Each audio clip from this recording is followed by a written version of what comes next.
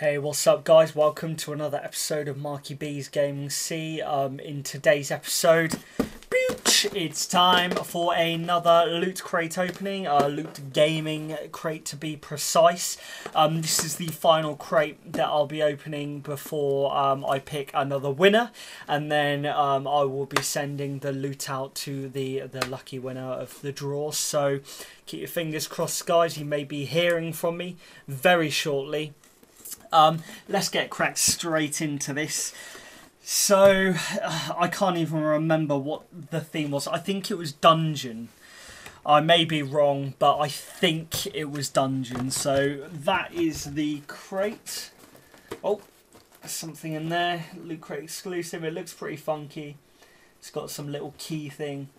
Looks a bit like a chest, something like that. So, we'll get the t shirt out the way first, because we always have a. Uh, do you nice. So we have if y'all can guess what that might be. Yeah you guessed it. Dark souls. We have a darks a dark souls t-shirt. So you probably couldn't hear me with the t-shirt.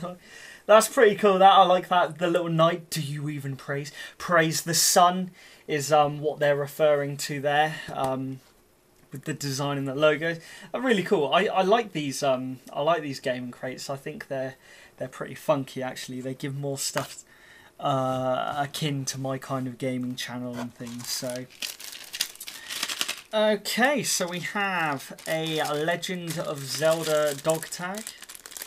Um, oh, it's got like a little sword too. I don't know if you can see that clearly or not. It's got like a sword and then a little leather kind of symbol thing on it as well.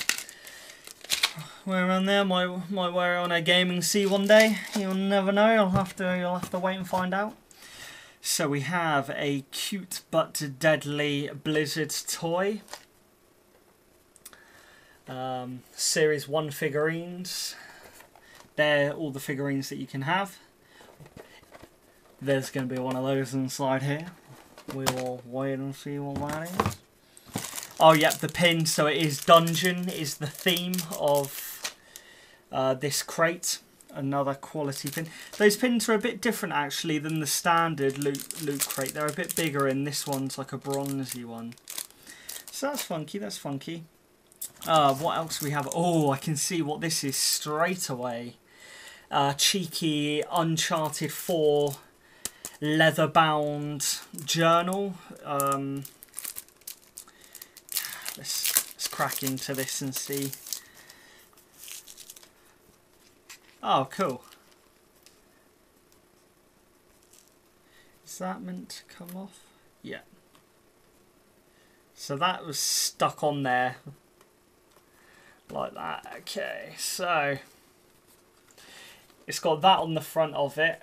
And then it's just... Uh, it's just a standard notepad that you can write stuff in there. It's got a pretty, pretty funky gold outline to it though. It's, it's of nice quality, so cool. So that's that. Then can you, right, cool, we've got a few bits in here. Got a few bits in here this month. Right, we have a Loot Crate exclusive. So, oh, it looks to be a glass.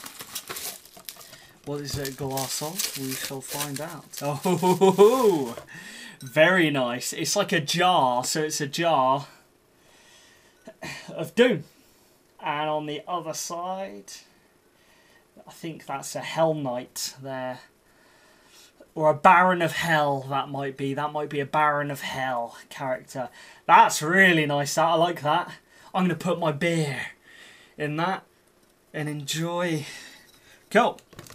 And then last but not least, we have something that was made in China. A dragon thing.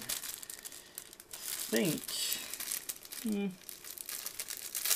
Let's see what this is. It looks to be quite flimsy material, so it looks like a kind of flag.